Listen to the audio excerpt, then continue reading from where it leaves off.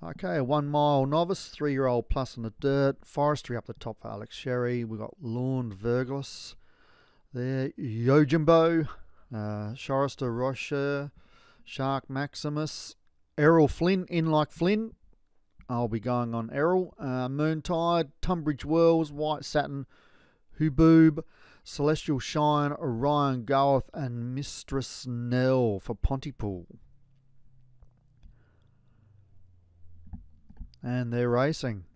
And flat footed out there, Celestial Shine. Jockey takes hold. Pushing up wider as White Satin and Tunbridge Wells.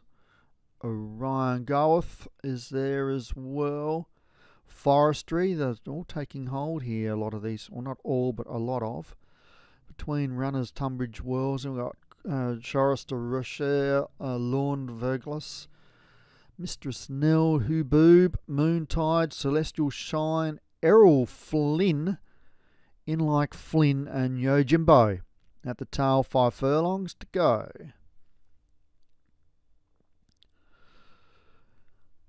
Nothing like the old swashbuckling Errol Flynn. That's what happens when you let a Tasmanian onto the world stage. And it's white satin. Leads comfortably. Coming out of the pack there is Shark Maximus. Could be a Sharknado finish here.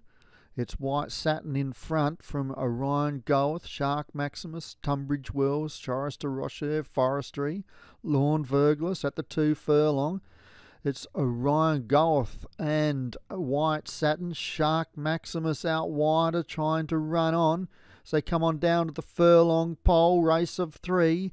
It's White Satin in front, but here comes the Sharknado, and Shark Maximus takes the lead and is full of running and Shark Maximus wins from Tunbridge Wells. Orion Goeth is third.